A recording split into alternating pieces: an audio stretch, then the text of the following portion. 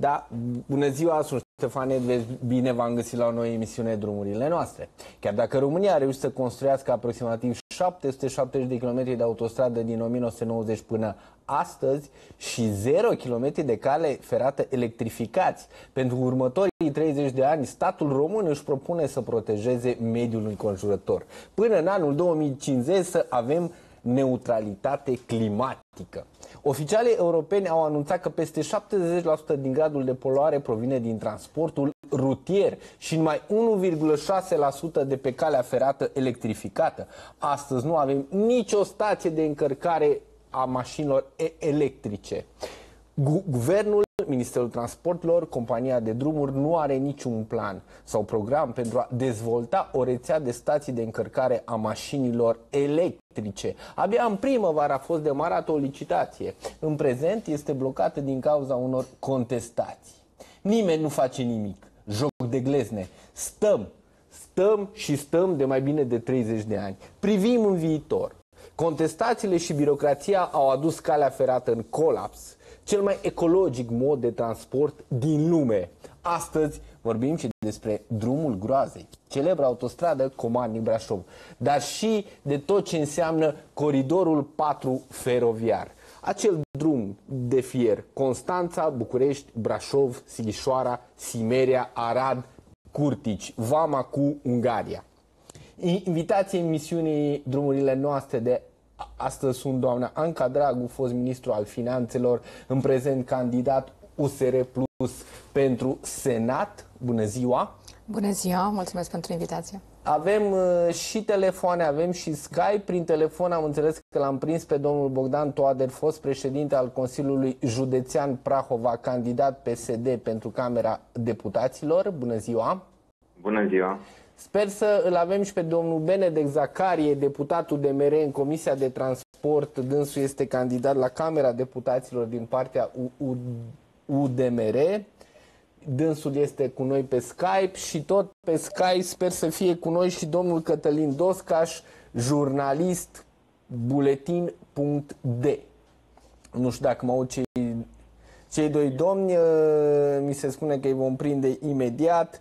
Doamna Anca Dragu, bine ați venit în emisiune. Uh, ați mai fost la noi, uh, am mai vorbit despre autostrada Comarnic-Brașov, dar până atunci noi am descoperit că există un pact ecologic Undeva la începutul acestui an am început să, să înțelegem ce înseamnă acest lucru Green Deal. Explicați-ne un pic ce înseamnă acest Green Deal și uh, uh cum ar putea să se implice și România în acest pact ecologic. Bine v-am găsit. Da, am mai discutat, am mai discutat despre Comarnic Brașov și cred că vom mai discuta uh, mulți ani despre această Cel puțin autostradă. 5 ani vom mai discuta, da. după părerea mea. Da. um, și lucrurile nu par a fi simplificate. Uh, despre Green Deal. Acest pact ecologic, uh, pact verde la nivel european, este o nouă filozofie economică, o nouă abordare a întregii vieți economice. După cum bine spuneați la început, ne propunem ca până în 2050 amprenta de carbon să fie zero. Practic, ce uh, carbon producem prin activitate economică să poată fi absorbit de uh, natură, în mod firesc. Asta înseamnă trebuie să avem uh, uh grijă de mediul înconjurător, dar toate procesele de producție, de uh, tot ce ține de viața noastră. Nu numai energie, dar și transport, agricultură, uh, modul în care producem mâncarea. Toate procesele din, în, din viața noastră trebuie să fie regândite și să aibă această amprentă verde. Orice lucru facem, să ne gândim că trebuie să protejăm mediul înconjurător. Este o abordare extrem de înțeleaptă din partea Comisiei Europene, foarte, foarte îndrăzneață.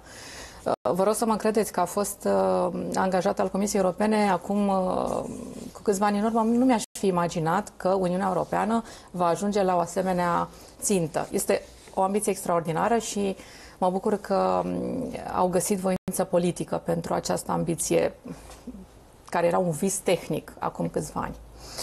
Uh, deci, concret, pentru noi înseamnă că trebuie să producem energie cât mai verde, cât mai multă, Uh, și uh, foarte multe implicații vor fi pe zona transport.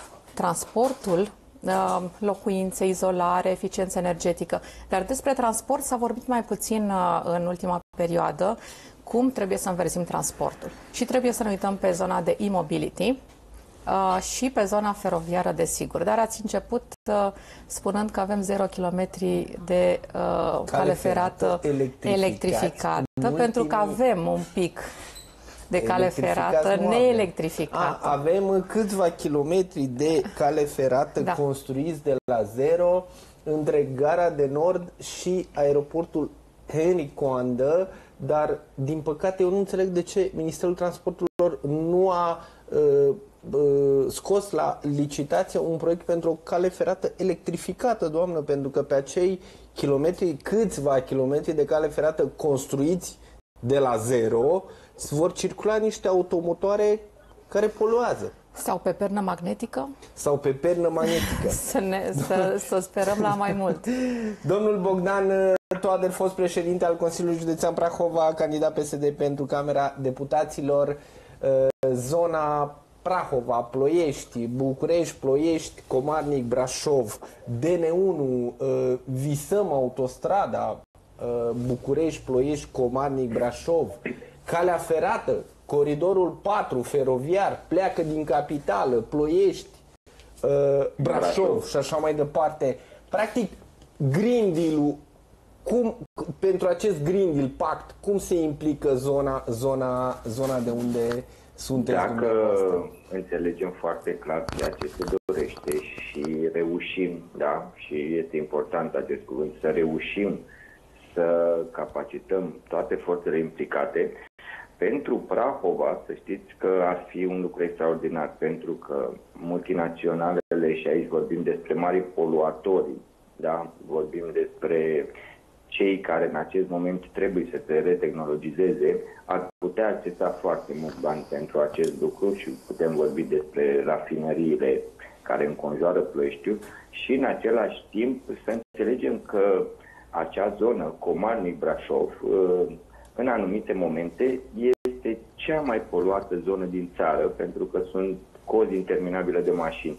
Și am putea să fructificăm acest Green Deal pentru Prahova în special, dacă mă întrebați, având în vedere că la Consiliul Județean am achiziționat o stație electrică da, de încărcare automobilelor electrice, o stație și avem chiar un producător autohton aici în Prahova și putem dezvolta acest sistem oferind chiar vouchere pentru achiziționarea mașinilor electrice către populație. Consiliul Județean a beneficiat de un astfel de voucher din partea Ministerului Mediului Credeți că este vorba de 15.000 de euro, un astfel de voucher. Și cred că este una din soluțiile pentru a diminua poluarea. Având în vedere faptul că Ploieștiul chiar are o problemă legată de poluare, cred că se impune, din ce știu eu și invitata noastră poate să confirme sau, bineînțeles, să mă contrazică, sunt 757 de milioane de euro în acest Green Deal. E o sumă foarte mare cuprinzătoare pentru multe, alocate României, uh, pentru multe proiecte care ar putea ajuta, ajuta foarte, foarte mult uh, zona aceasta poluată.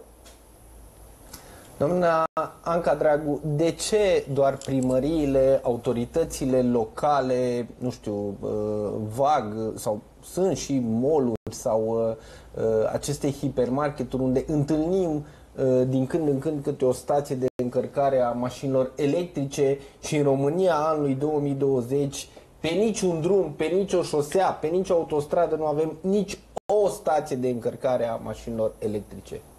Pentru că trebuie să avem o sursă de curent electric acolo, de electricitate. Da. Deci, uh, pe marginea autostrăzii nu avem uh, curent electric, nu avem stâlpi uh, uh, de electricitate. De aceea avem totuși uh, în benzinării și trebuie să vă spun că sunt 19 uh, stații montate printr-un proiect european. Sunt două firme private care au uh, colaborat în acest program. Sunt destul de familiarizată cu programul. Dar, de exemplu, pe autostrada 2 am reușit să montăm în două benzinării și când am vrut să, mon- când a vrut să monteze în spațiile de servicii, au fost blocaje fantastice la Ministerul Transporturilor în perioada 2017-18. De ce au fost blocaje? Adică ce nu interes există nu au vrut să, să scoată... nu se vrea a, a se instala stații de încărcare a mașinilor electrice. Ministerul Transporturilor a spus că dorește să scoată aceste spații uh, de servicii la licitație pentru proiecte complexe. Uh, companiile spuneau ok, dar uh, faptul că pun o stație de încărcare nu poate decât să crească valoarea acelui spațiu de servicii, nu să-l scadă și atunci și avea România prin acești operatori privați angajament la nivelul Uniunii Europene. Era un proiect derulat prin INEA, este Institut, Institutul de Inovație uh, al Comisiei Europene. Deci, uh, ca atare, aceste ultime două stații de încărcare pe A2 au fost montate în afara autostrăzii. Companiile au recurs la planuri uh, B, la planul uh, secundar și au luat uh, niște, au închiriat în afara autostrăzii la o distanță cât uh, permitea caietul de sarcini la 2-3 km. Deci, Dar vreau să vă... Da. Sunt operatori privați care și-au văzut de treabă, au concesionat, au închiriat sau au achiziționat terenuri lângă, infra, lângă drumuri, lângă autostrăzi și au construit stații de încărcare a mașinilor electrice. Exact. În decembrie 2019, eu știu că Ministerul Transporturilor a scos la licitație aceste uh, spații, a, printr-un OUG a creat cadrul legal și acum este o procedură în derulare, dar uh, pentru proiectul ăsta european era prea târziu. 2017 și 2018 au fost ani ratați și ca atare pe autostrada A2 avem uh, uh, nu numai o stație la intrarea pe o stradă și o stație la ieșire, dar a trebuie să fie la 50 de km distanță, așa, uh, da. așa e regula. Domnule... O mașină electrică are o autonomie undeva la 200, 200 și ceva de kilometri. Da. Poate deci să ar trebui... Domnule ar Bogdan Toader, acum pe ecran, nu știu dacă ați, aveți un uh, televizor în față, ziarul spune România 0 km de cale ferată electrificați după 1990. La începutul acestui an, Uniunea Europeană a anunțat că are 1000 de miliarde de euro în următorii 10 ani pentru pactul ecologic Green Deal, reducerea poluării. Vestea bună este că România va fi unul dintre mari beneficiari. Vestea proastă este că România nu face nimic, stimate domn. Nu are niciun proiect eligibil pentru a cheltui acești bani oferiți gratis. Cel mai ridicat nivel de emisii din sectorul european al transporturilor provine din rutier, 73%, urmat de aviație 13%, transport maritim 11% și din transportul feroviar doar 1,6%, stimată domn. Toată Europa merge către acel Green Deal, adică reducerea emisiilor de carbon a poluării. În schimb, România parcă o ia în direcția contrară. Adică proiectele proiecte de linii neelectrificate, ceea ce a punctat și doamna Anca Dragu, ne referim la linia pentru Euro 2020 spre aeroport. Liniuța. Liniuța, i-a spus doamna Dragu, tergiversarea reabilitării liniei București-Giurgiu de 15 ani, domnule Toader, și 0 km de cale ferată electrificați după 1990, stimate domn. Din păcate, din păcate, așa este pentru că toată lumea s-a axat pe traficul rutier și s-a neglijat și cred că intenționat s-a neglijat pentru că totuși aveam o infrastructură extraordinară și putem și acum să o reabilităm și să bă, o extindem. Din păcate, toată lumea s-a axat pe acest trafic rutier, unde dumneavoastră cred că ați spus că nu am reușit să construim foarte mulți kilometri de autostradă și am neglijat complet, complet ceea ce înseamnă calea ferată. La noi, în Prahova, totuși, noi suntem un nod, da? Și știți acest lucru foarte bine. Pot spune, un poate unul dintre cele mai importante noduri de cale ferată, dar pot să-i spun și nod rutier, pentru că din zona, din Prahova pleacă și autostrada spre uh, Moldova sau drum expres, ce-o fi el. Drum expres, Nici mai știm ce este, nu, este ce pleacă expres, spre Moldova. Este tot pe fonduri europene. Uh, acum uh, șase luni de zile s-a semnat uh, certificatul de urbanism pentru acest drum expres pe, care leagă Muntenia cu Moldova și chiar cred că s-a depus proiectul, era într-un stadiu foarte, foarte avansat, acum șase luni de zile, deci cred că proiectul deja este în evaluare, dar v-am spus, noi totuși pe ceea ce înseamnă infrastructură rutieră ne-am axat. Din păcate nu s-au reușit uh, foarte multe lucruri, iar am, ceea ce este dezolant, este că am neglijat ceea ce înseamnă calea ferată, care ar putea fi, așa a spus neastră, că este cea mai puțin poluantă și ar putea deveni pe acest Green Deal. Uh, știu că sunt 1000 de miliarde în următorii 10 ani, dar ceea ce știu foarte clar este că Polonia beneficiază de cel mai mult ca să facă tranziția de la cărbune da.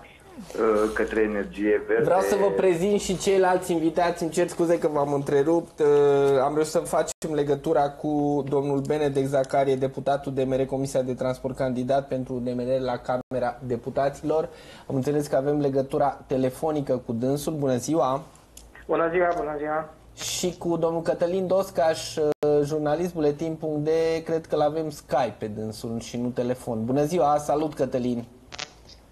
Bună ziua, mulțumesc de invitație, Ștefan, bun găsit. Nu, nu știu dacă ați fost uh, pe, pe, pe fir sau ați auzit. Uh, astăzi vreau să vorbim un pic despre ceea ce înseamnă uh, Pact Ecologic Green Deal. Dacă România se califică, să spun așa, la acest Green Deal. Și vreau să-l provoc pe domnul Benedek Zacarie dacă știe că autostrada uh, invizibilă și dacă știe care este domnul Benedek Zacarie, autostrada invizibilă din România, care poluează Valea Prahovei.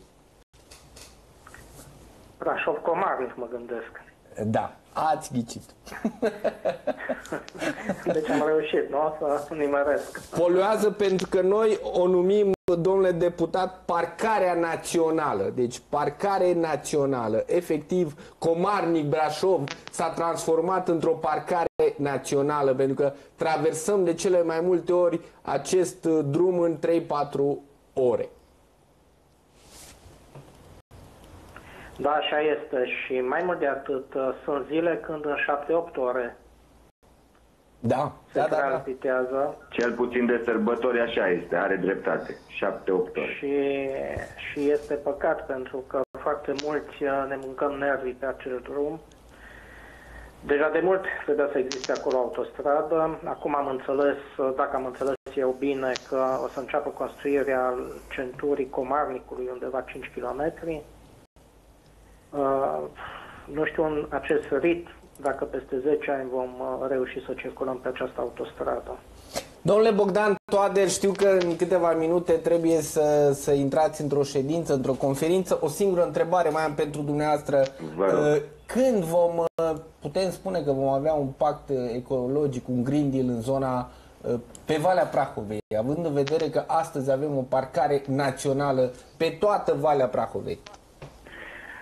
Legat de centura ocolitoare, știu că a fost uh, finalizată procedura de achiziție. Așteptăm și noi, vă dați seama că suntem interesați și în 2014 a fost uh, prima oară demarat acest proiect.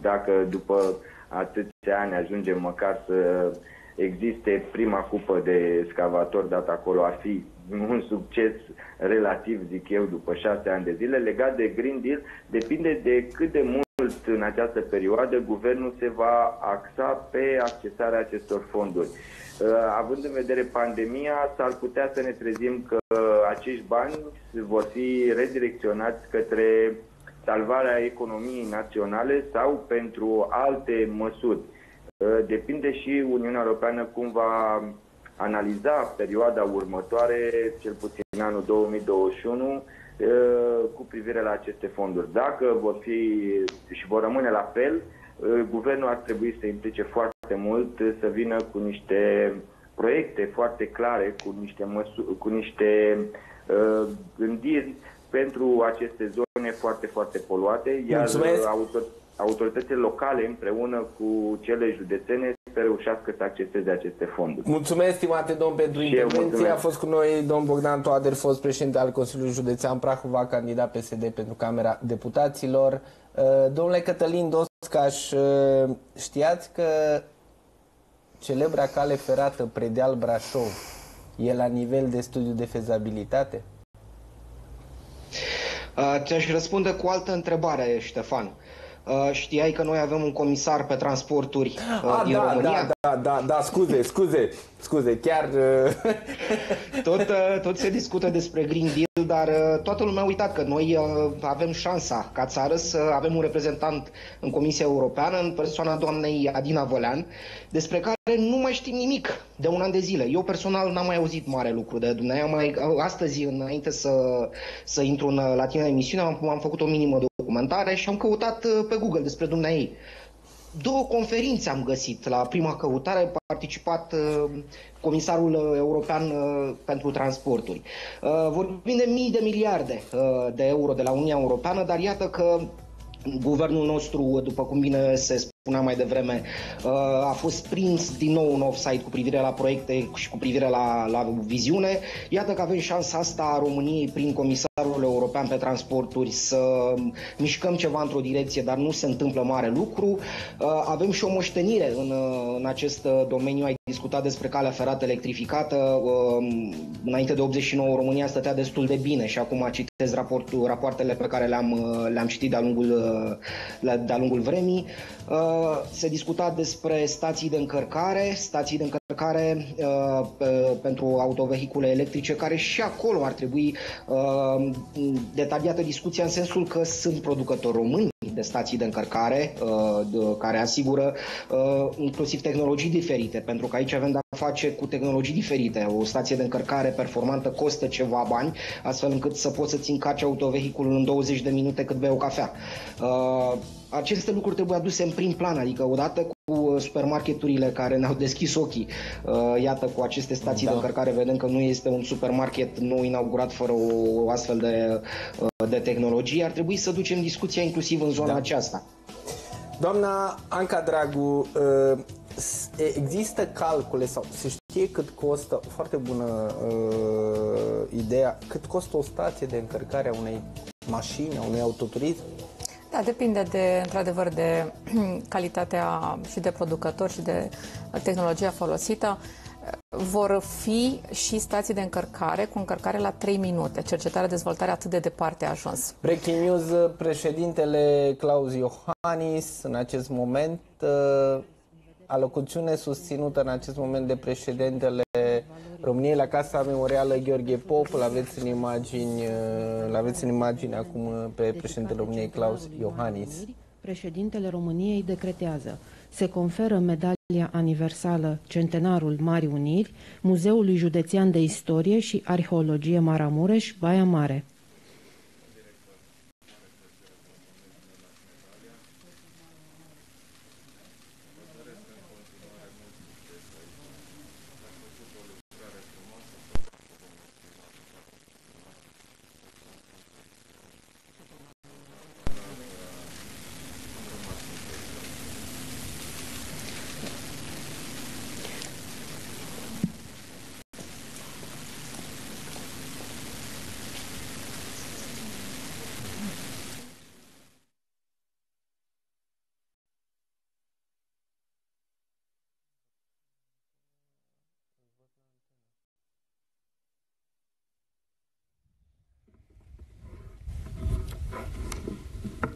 Să rup mâna, bună ziua tuturor. Domnule președinte al Consiliului Județean Maramureș, domnule prefect al județului Maramureș, domnule director al Muzeului Județean de Istorie și Arheologie Maramureș, preasfinția voastră, doamnelor și domnilor, redeschiderea casei memoriale George Ion Pop de Băsești, după reabilitarea sa, are o importanță deosebită atât pentru maramureșeni, cât și pentru păstrare, păstrarea vie a moștenirii noastre istorice. Ne aflăm într-un loc relevant pe harta României, care sper că va deveni un reper pe harta turismului cultural, o destinație pentru cei care doresc să cunoască una dintre personalitățile care și-au dedicat întreaga viață unirii românilor. Momentul de astăzi este un prilej mai mult decât potrivit pentru acordarea medaliei aniversare Centenarul Marii Uniri, unei instituții, Muzeul Județean de Istorie și Arheologie Maramureș, pentru contribuția la păstrarea moștenirii istorice și a mesajului patriotic al Marelui Unionist, inclusiv prin restaurarea casei sale memoriale.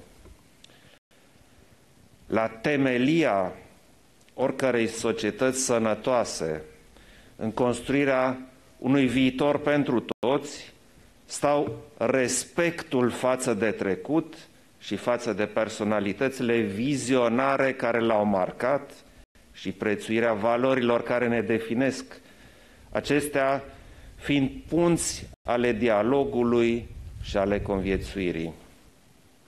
Tocmai de aceea, încurajez ca astfel de demersuri să fie făcute și în alte locuri din țară. Sunt încă multe monumente istorice uitate, ori lăsate în paragină, pe care administrațiile locale trebuie să le restaureze pentru a le reda comunităților. Astfel de demersuri sunt mărturile noastre că ne prețuim și protejăm identitatea și valorile care ne-au condus să fim partea Europei umaniste și democratice. Revitalizarea locurilor istoriei și culturii nu este expresia melancoliei ori a unei întoarceri spre trecut, ci reprezintă investiții în educația și formarea tinerei generații, șanse de dezvoltare locală, oportunități pentru încurajarea turismului în regiune. Doamnelor și domnilor, despre George Pop de Băsești știm că a fost purtătorul până la sfârșitul vieții al idealului național, acela al Marii Uniri. Personalitatea lui este mai puțin cunoscută publicului larg, cu toate că îi atribuim astăzi merite istorice importante. Mă refer aici la lupta pentru recunoașterea drepturilor românilor din Transilvania, dar și la rolul pe care l-a avut în coagularea politică a acestora, începând din a doua jumătate a secolului al XIX-lea. În urmă cu doi ani, sărbătoream centenarul Marii Uniri chiar în orașul în care a fost proclamată unirea. În acest an, cu mai puțin de o lună înainte de sărbătoarea noastră națională, onorez memoria unuia dintre realizatorii acestui ideal național, chiar în locul în care a trăit până la sfârșitul vieții. George Pop de Băsești și-a văzut visul împlinit. Românii își făuriseră statul pentru care el a luptat. Această reverență simbolică exprimă recunoștință și transmite totodată un mesaj națiunii. Personalități precum George Pop de Băsești, pentru ceea ce au înfăptuit și pentru forța idealurilor pe care le-au transmis urmașilor, trebuie să rămână în prim planul memoriei publice. În final, vă încurajez, stimați reprezentanți ai autorităților locale, să continuați preocuparea față de memoria lui prin inițiative care să îi aducă la lumină meritele și prin promovarea acestui spațiu, astfel încât acesta să ocupe locul bine meritat în circuitul istoric și turistic al Maramureșului. Vă mulțumesc!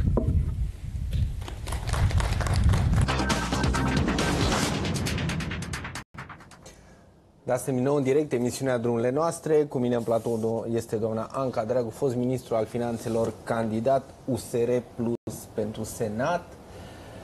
Prin telefon este domnul Benedek Zacarie, deputatul DMR, candidatul DMR pentru Camera Deputaților și Skype domnul Cătălin Doscaș, jurnalist buletin.d. Uh, am rămas și am întrebat pe doamna Anca Dragu cât costă o stație de încărcare a unei mașini electrice de nu există niciuna în România. Adică e atât de scumpă, doamnă?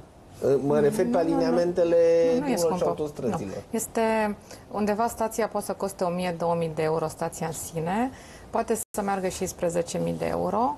Uh, Cu totul un proiect pentru asemenea stație poate să fie undeva la 20.000 de euro, un proiect, aș spune eu, uh, complex și complet.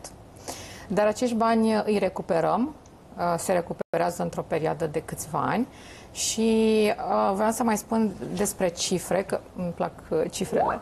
Dacă în momentul de față avem 1% din transport electric, pentru a atinge ținta um, de protecția mediului din uh, acest pact verde, din Green Deal pentru 2050, trebuie ca uh, 51 din, to- din total transportului să fie electric. Deci avem un drum lung și pentru asta ne trebuie infrastructură, ne trebuie uh, mijloace de transport și ne trebuie foarte multă producție verde de energie electrică. Domnule Benedek Zacarie, deputat UDMR, nu știu dacă ați auzit-o pe doamna Anca Dragu, mă auziți? Am auzit, am auzit-o, da. Credeți că până în 2050 vom avea România verde? Este o întrebare foarte dificilă. Deci dacă vom continua în felul în care luc- am lucrat până acum pentru România Verde, pentru acest Green Deal, probabil nu. Și ar trebui să începem până discutăm de stații de încărcare electrice și așa mai departe, ar trebui probabil să investim mult mai mult, mă repet, mult mai mult în cercetare și dezvoltare pe acest domeniu. Și nu numai pe acest domeniu. Că noi vorbim undeva de, 5, de 750 de milioane de euro care ne vin nou, revin nouă în următorii 10 ani din bugetul european, dar la care trebuie să mai adăugăm 1, între 1,5 și 3 euro din resursele României din Fondul European de Dezvoltare Regională și al Fondului Social European, plus, plus niște sume de bani din bugetul național. Deci totul cu totul se ridică undeva, la, după calculele mele, în jurul a 3 miliarde de euro. Uh, sunt, nu sunt bani puțini. Nu sunt bani mult puțini, dar pentru ăstea ar trebui să avem proiecte, ar trebui să avem programe ca să le putem folosi, să le putem atrage. Și aici, aici, dacă nu se schimbă urgent ceva la nivelul ministerelor, la nivelul guvernului, uh, va fi foarte greu ca noi în 2050 să avem o industrie neutră conform acestui Green uh, Deal. S-a făcut vreun pas, doamna Anca Dragu, în uh, acest sens în acest an? Adică 1 ianuarie 2020, 1 noiembrie 2020, pentru a merge ușor, ușor România către acest pact? Avem uh, un uh, uh, program național integrat pentru uh, mediu și energie, PNIESC, care a fost și evaluat de Comisia Europeană și evaluarea nu a fost una foarte uh, pozitivă. Comisia Europeană ne spune că suntem foarte puțin ambițioși, că trebuie să fim mai ambițioși în ceea ce privește producția de energie electrică uh, verde și că nu avem instituții și strategie. Da. Sunt nevoie să iau o pauză de publicitate, pauză de publicitate.